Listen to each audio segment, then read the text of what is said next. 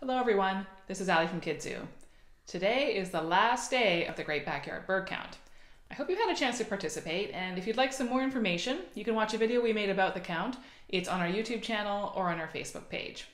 We've been talking all about birds this weekend. We learned how to make a birdhouse out of string. We read a book about the Audubon Christmas bird count, and we learned how to help birds in the wintertime.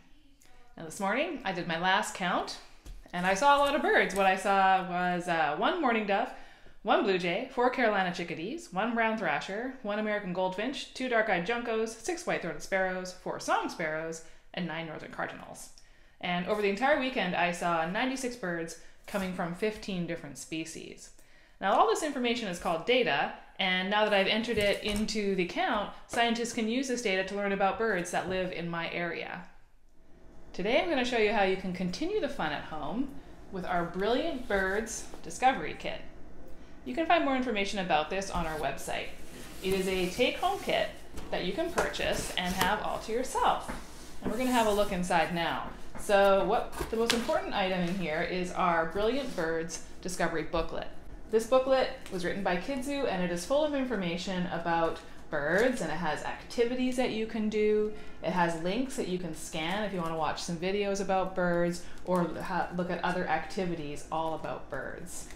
It also comes with a discovery journal where you can write down your data or any other information about birds uh, in there. And it comes with a North Carolina bird guide so you can become an expert on identifying birds in your own neighborhood.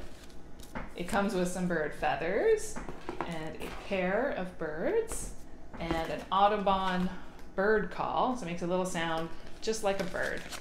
It also comes with some bird seed, and this is for an activity where you can make some suet, which is a good kind of food to feed birds in the wintertime. And then you can add on a couple of extras. You can add on these beautiful bird wings for some dress up play, and then you can also add on this wonderful storybook called Ruby's Birds. Thanks for joining us today. I hope you did have a chance to participate in the Great Backyard Bird Count. And remember, this is an annual event, so you can actually participate again next year in February. Bye.